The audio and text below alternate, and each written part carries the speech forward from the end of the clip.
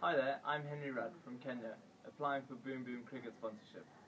I'm 19 years old and I'm probably going to captain the Kenya under-19 team in the World Cup qualifiers this August.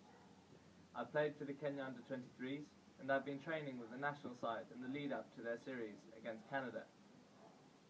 I'm a right-handed batsman who expresses the boom boom spirit, not just with big shots, but with energetic running between the wickets. I usually bat at 4, 5 or 6 and my fielding is electric. I'm a right arm medium fast bowler. I bowl swing and I have a nice off cutter. I'm very consistent, but I also like to vary my bowling depending on the situation.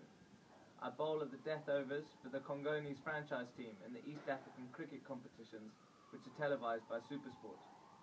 I would like to be sponsored by Boom Boom, not just because they're supportive to associate countries like Kenya, but because I've used the, my franchise team's equipment and I love it.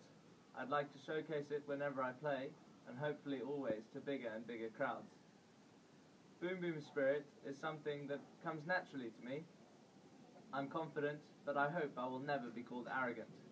It's nice that my teammates and coaches say that I'm the guy who makes things happen. But although I would like to win and to play competitively, I hope that success or failure will not change the way that I am.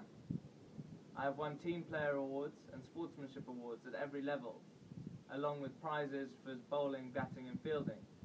But I hope I will always remain outgoing, friendly and modest.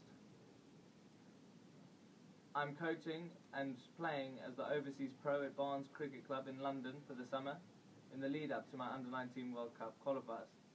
I am determined to get to a World Cup, whether it be Under-19s next year, or better still, to make the 2015 World Cup.